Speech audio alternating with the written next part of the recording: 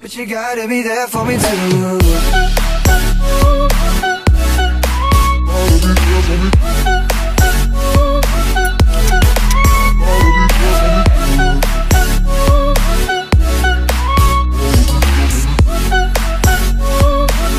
But you gotta be there for me too. All right, here we go on this follow along beach workout. This was at 6 a.m. for me, so I was trying my best. It wasn't the easiest, but we still did it. First thing, you're going to want to warm up, so I did about 20 jumping jacks just to get yourself moving and ready for the strength part of this.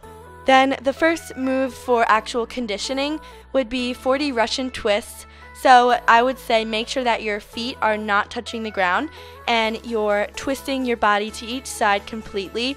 You can even try to tap the ground with your knuckles, and that'll make sure that you're doing it correctly. This is great for your core.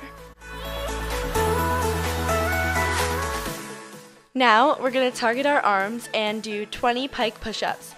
These are harder than regular push ups because more of your body weight is leaning over your shoulders, and the closer that your feet are to your hands, the harder it will be. So feel free to challenge yourself with any level of difficulty.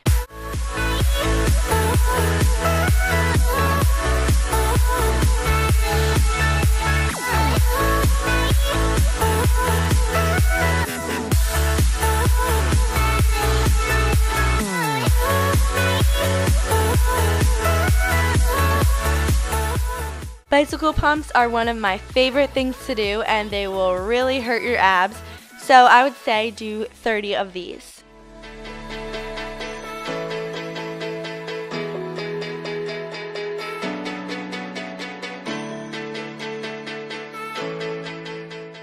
The next thing to do is five press handstands. If you can do it from sitting, go for it, but I just like to do it from dragging my feet. The most important thing is that you don't jump into it. So you can see me, I just kind of lean over my shoulders and then press up to handstand.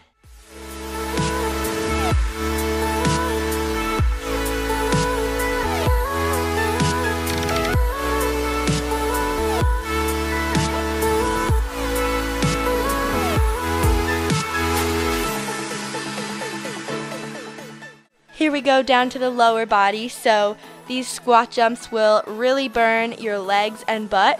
So I would say do 20 of them. I just did 18 because I miscounted.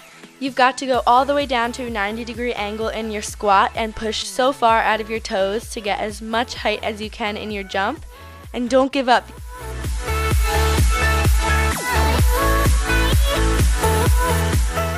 We're going back up to our core and abs. So you'll do 50 heel taps and make sure to keep your shoulders off the ground like you're doing a hollow hold, but your feet will be down and just tap each heel or ankle with each hand.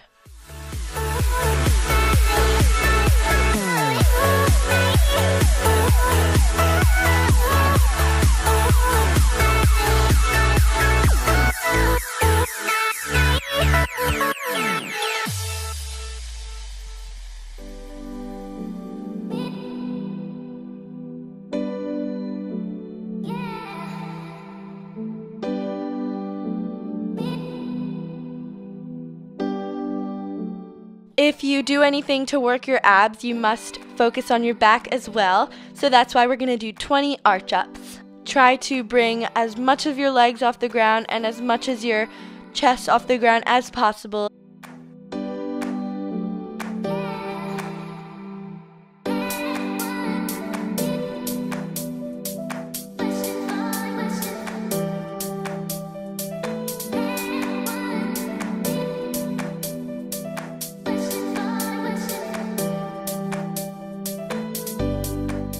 After the arch ups, you're to roll right over to your back and do the opposite, which is 20 V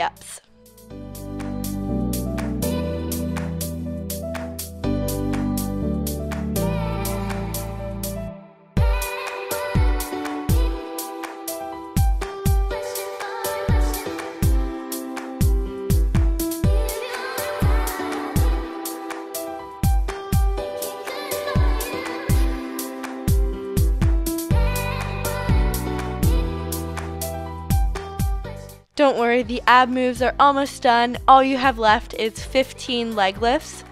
And do this while laying on your back and go as slow as possible, bringing your feet down to the ground, nice and straight legs, but don't touch. Just go right an inch above the ground and then bring them back up to a 90 degree angle.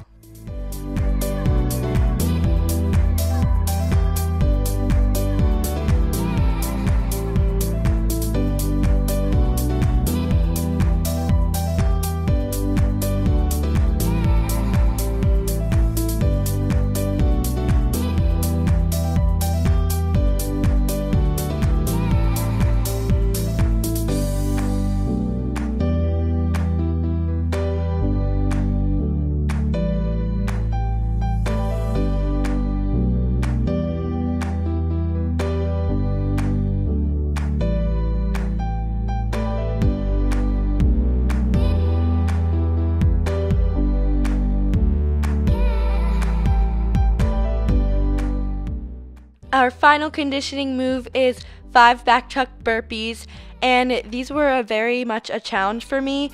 First of all, my feet were hurting because it was very early in the morning and the sand was pretty hard. And second, I did not even make all my back tucks around, I was just kind of chucking them. But you can try your best for these. If you have your standing back tuck, try it out. If not, I would say just do a straight jump or a back handspring, whatever you want in between those push ups.